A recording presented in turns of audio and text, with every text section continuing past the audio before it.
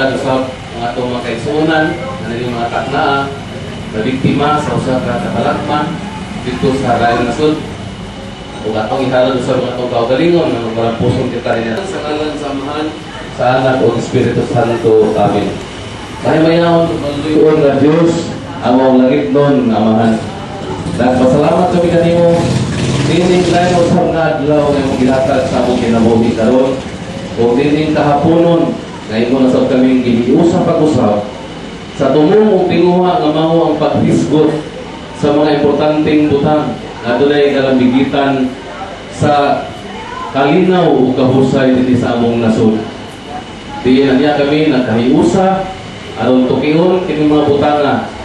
Among gihalad kanimo kini among panagtigom ug among pangayon imong panalangin ini ihatag ang imong kaalam ug grasya aron sa among paghisgot o pagpaminaw sa among mga speaker among masabtan o matuhok sa among kastat sa mga kasing-kasing una-una ang usa ka bililhon nga katuyuan nga among mapaluntad ang usa ka maluntaron na kalinaw dinhi sa among nasod.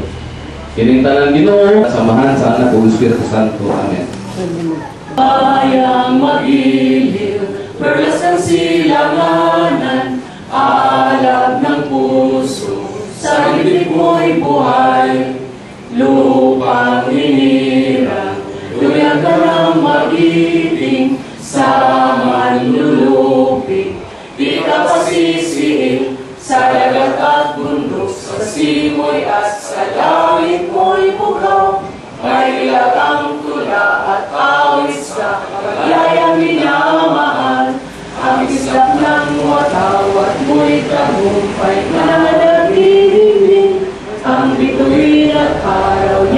قائلا عن غير مبيده لو أنا ما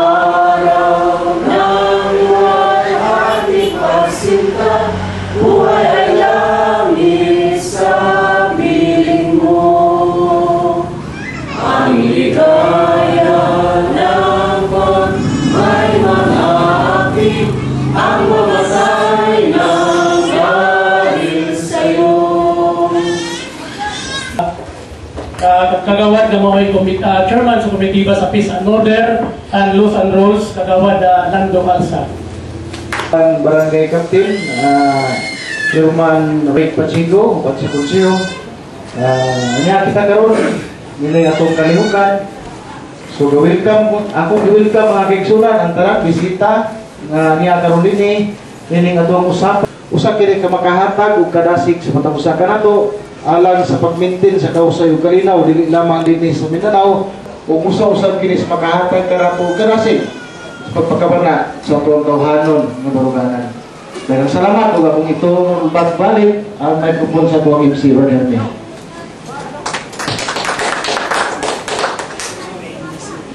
Uh, Sudiyon na mga pagpasalamat sa inyong pagsadong niining panawagan karon nga gipasiugdahan sa uh, gobyerno nato sa atong syudad pinasikat sa pagpangulo ni Mayor Imano.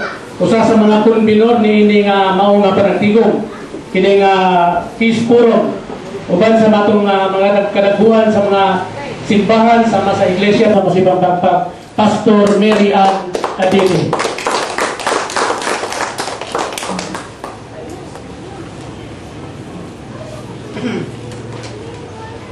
Mayong Mayong hapon kanatong tanan.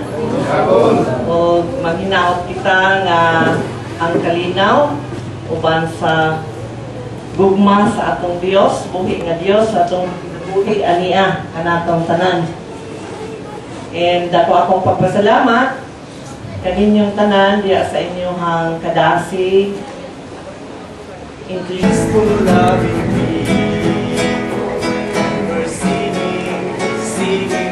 la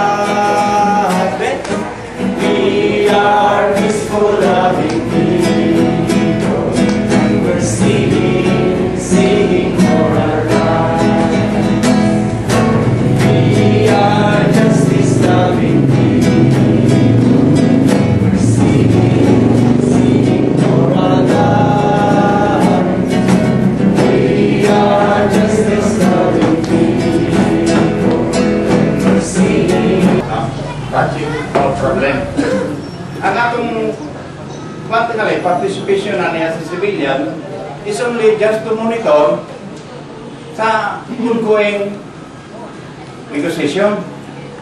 Kaya panalitan, wala matuman ang panalitan karon doon ay kasabutan nga wala matuman.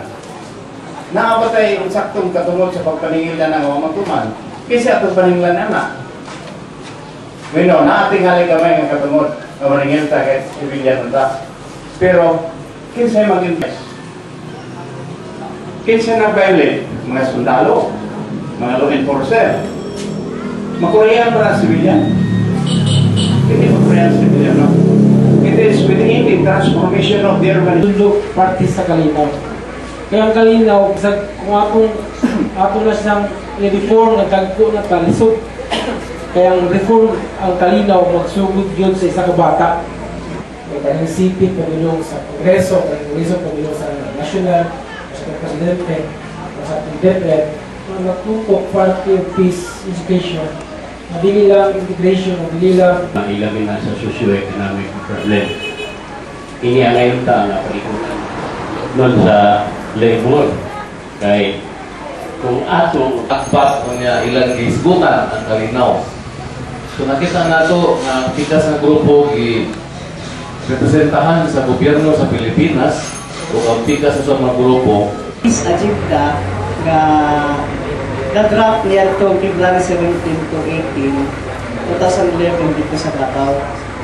Bali ako ning basahon karon magawang experience sa isa kay